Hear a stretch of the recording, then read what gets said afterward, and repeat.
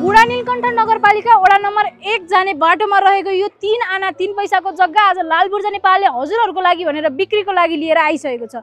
यो जग्गामा तपाईँले कसैको पनि चिन्ता लिनु पर्दैन। फुल फेसिलिटीको साथमा तपाईँले ती राम्रो जग्गा पाउनुहुन्छ। यो जग्गाको अगाडि तपाईँले मजाको बिस फिटे बाटो पाउन सक्नुहुन्छ भने तपाईँले यो जग्गाको लोकेसनको कुरा गर्नुहुन्छ भने तैलुङ बुढा नगरपालिका वडा नम्बर एकमा रहेको यो जग्गा जहाँबाट तपाईँले फाइभ स्टार होटल पनि नजिकै पाउन सक्नुहुनेछ। यो नर्थ र इस्ट फेसिङ रहेको जग्गा यदि तपाईँहरू किन्न चाहनुहुन्छ या भिजिट गर्न चाहनुहुन्छ भने आजै सम्पर्क गर्नुहोस् तुरुन्तै लालपुर नेपाललाई। किनभने हजुरहरूलाई थाहा नै छ लालपुर नेपाल जस्तो नाम त्यस्तै काम।